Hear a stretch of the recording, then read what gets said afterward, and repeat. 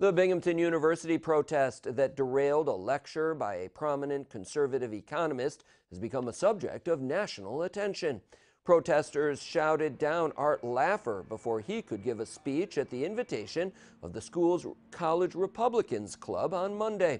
The event has garnered national attention from outlets such as NPR, Fox News, and the Boston Globe. State Senator uh, Fred, uh, local Republicans State Senator Fred Akshar and Mayor Rich David say they're both displeased with the university's handling of the event.